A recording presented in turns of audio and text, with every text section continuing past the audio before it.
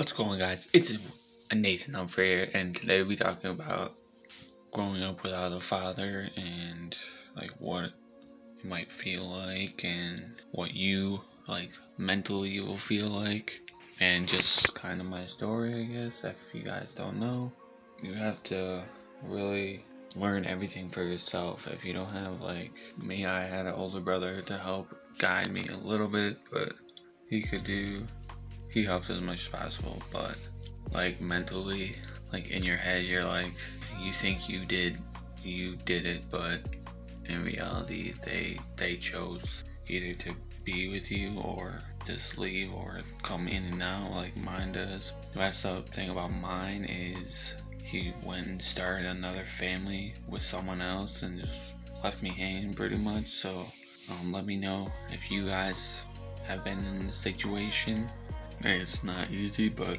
he taught me how not to raise my kids, so I really look forward to having kids and being there for them and stuff. I'm like, I can't really understand why you, like, I can understand if you don't want kids, but like, just like give them stuff, like child support or something. I don't know, like, just be there for them when they need you, not just oh, I have a kid that's in somewhere else and I don't even care. Like, I understand, but I really don't understand. It really like drains drains a person, the kid.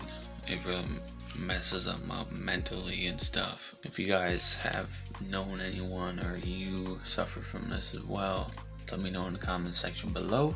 I'm sorry, my hair is a little wild this morning, but I hope you guys fight through it if you guys struggle with this or your mom, you don't have a mom.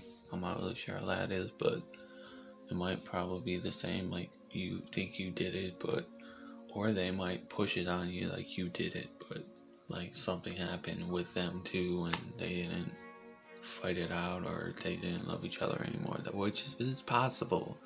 If you guys want more of this video, I'll make a part two. If uh, you guys can pick the direction I go in, if you guys are interested.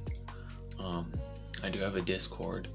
It's Nathan Humphrey. I put it in the, every video. So if you guys want to check that out, we talk about a lot of stuff in there. I post all my videos. I hope this helps in any way. Don't forget to hit that like and subscribe button for future videos like awareness videos or everything else I have on my channel. And if you guys have, if you guys have any recommendations, let me know in the comment section below. I love you guys. We'll see you in the next video.